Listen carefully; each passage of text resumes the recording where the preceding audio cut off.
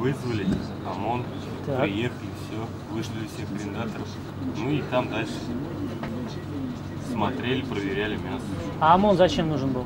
Ну, охраняли, чтобы не вывезли ничего. Перекрывать дорогу. По словам охранников оптового склада, оперативники сработали четко и быстро. Это операция совместная сотрудников Россельхознадзора и отдела по борьбе с экономическими преступлениями. В результате в этих контейнерах было обнаружено почти полторы тонны мясной продукции, вся санкционная. Это именно сердце свиное, шейка свиная, сердце индейки, производителями которой являются такие страны, как Великобритания, Ирландия, Польша. Продукция принадлежит индивидуальному предпринимателю, который осуществляет деятельность по данному адресу. Индивидуальному предпринимателю грозит крупный денежный штраф, а всю продукцию уничтожат. 6 августа в России вступил в силу закон, согласно которому вся конфискованная санкционная продукция утилизируется. Все изъятое мясо будет отправлено на утилизацию в Тульской области.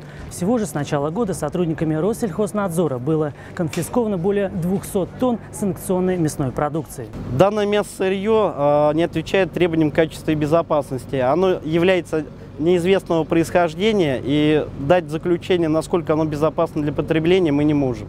За несколько дней в России планируют уничтожить почти 300 тонн различных продуктов. Это фрукты, овощи, так взволновавший общественность сыр. По заверению представителей Россельхознадзора, всю контрабандную продукцию, завезенную из стран Евросоюза и США, на которую распространяются ответные санкции России, будут утилизировать ежедневно.